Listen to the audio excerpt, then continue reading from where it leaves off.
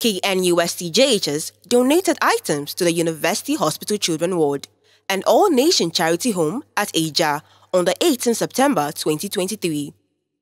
The Basic 7L class who donated items to the Children Ward at University Hospital and Orphanage Home at Aja did this kind gesture as an annual event to support the faculties and also give opportunity for the students to give. Some of the items they donate to the people include toilet rolls, napkins, drinks, soap, and many more.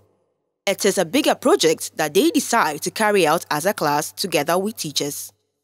TEK TV News team got some interesting views from the students, teachers, nurses, and children from the orphanage home. So my name is Mrs. Olivia Ayensu, the chief teacher at KNUST Basic School and the class teacher for Basic 7L. Now the purpose of what we've carried out today, the donation to the ward, is part of a bigger project that we decided to carry out as a class together with parents of students in the classroom. So we came today in order to exemplify or to illustrate the fact that we are training their hearts. I want to use this opportunity to appreciate all those who made this possible. Um, I want to appreciate them because it's been a teamwork. My name is Belinda Abuaji Usina.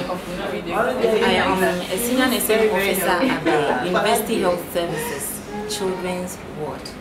I am grateful to whatever they have done for us today because it's not all patients or relatives who are able to afford some of the basic or the necessary things that the children need for their upkeeping.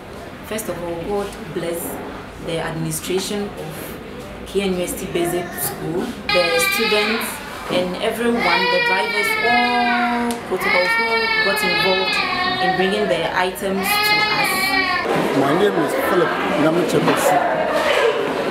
I'm the director of this orphanage home. What I want to say right now is just to thank the staff, the headmistress, the teachers, and uh, even the children who brought all this up I'm Bridget Watinyamiche. I attended school at Mansell Senior High Technical School. I'm in SHS and I'm from All Nations Charity Home.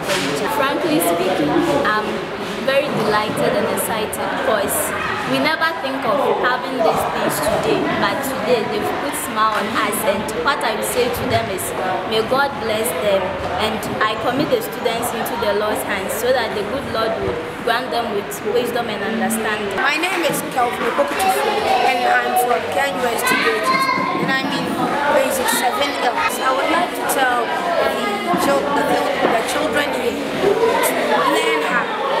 They might become great people in the future if they learn very hard. They'll never know. They should also keep believing in God. Thank you.